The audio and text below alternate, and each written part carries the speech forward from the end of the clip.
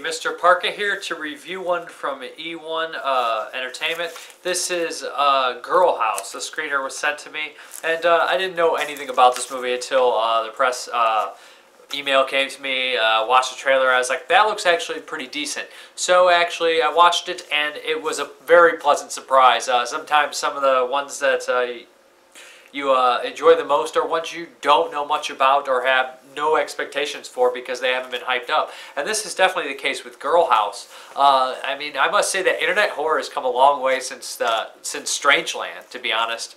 Uh, essentially what we have here is a struggling college girl. She decides to do this porn site. Uh, she doesn't do the hardcore stuff. Essentially, it's just uh, six girls living in a house, and uh, they get paid by the more views they're on, on them. So uh, she's kind of just showering and things like that. But it's an interactive site, so the people from all around the world are watching.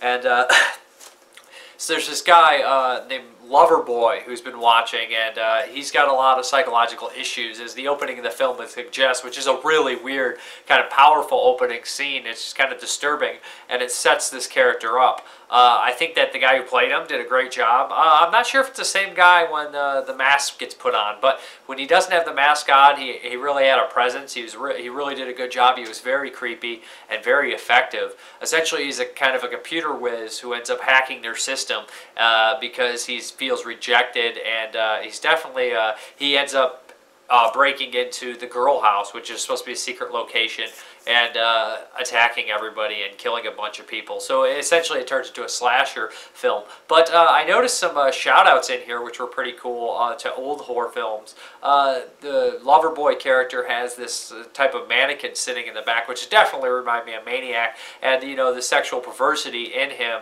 his hatred for women, his misogynistic attitude. Well, he's just such a, you know, he's so such a shut-in. He can't interact with human beings. Kind of reminded me in a way of Joe Spinell for Maniac, and of course I believe the mannequin is kind of a shout out to you know Joe Spinell, and not to mention uh, uh, the the mask that he actually puts on reminds me of something that Leatherface might wear.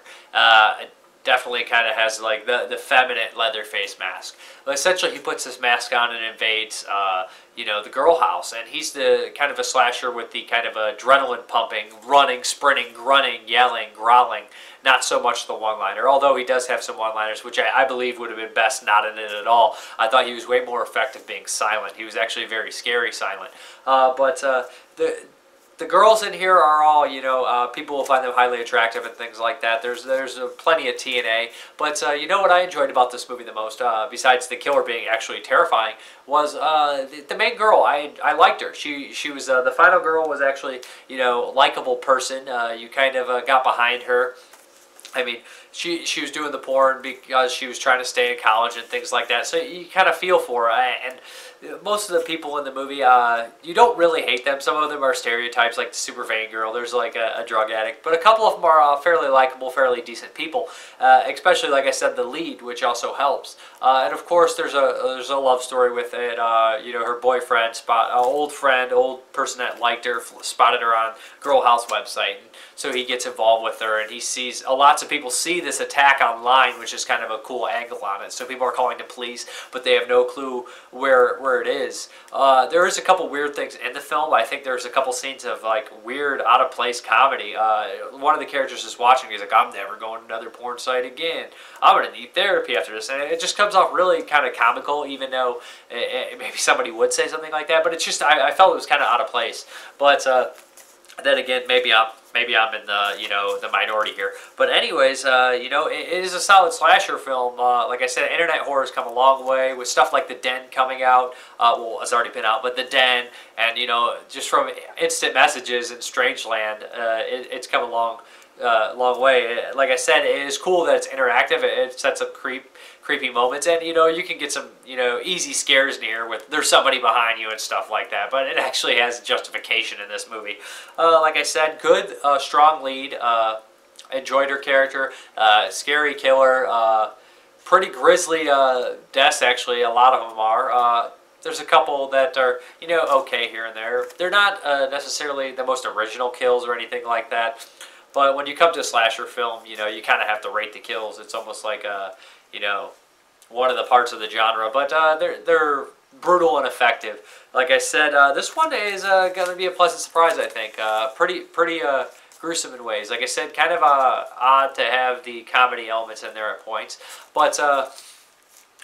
I did, uh, the opening also sets the mood fairly well. I was kind of surprised by that. But yeah, check out Girl House. Uh, it kind of reminds me of, you know, Cullibus or something like that too, being trapped in the house. But I enjoyed this one. Uh, check it out. Uh, high kill count, uh, uh, TNA, cool characters. Uh, we'll delete uh, the killer and the main girlfriend are my favorites, but some of the other ones are, are decent as well. But uh, I'm Mr. Parka. I'm not sure when this comes out. It'll be up on the uh, top or the description box, all the info you need to know or ever wanted to know about the movie. But uh, thank you very much for watching. Have a good one. Okay, ladies, I think it's time. Yes. Oh, yeah. Let's go. Time for what? okay, boys, here I am. Have you been on the internet lately? Porn is not what it used to be. I mean, it's totally different now. It's mainstream and accepted. There's no stigma. Nobody cares. Welcome to Girl House, sweetie.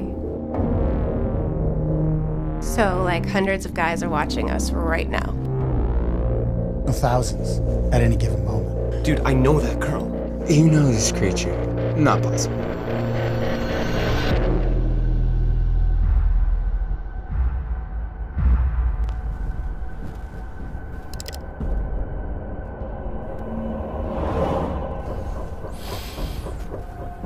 Sorry, lover boy. You just missed me. You really are a pathetic freak.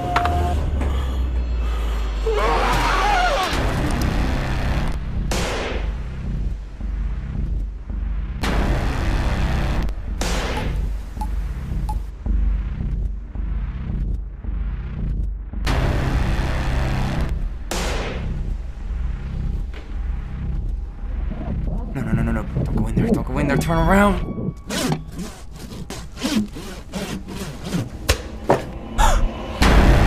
Somebody is I need to kill everybody. He's putting on a show. This is insane. There has to be some way to find them.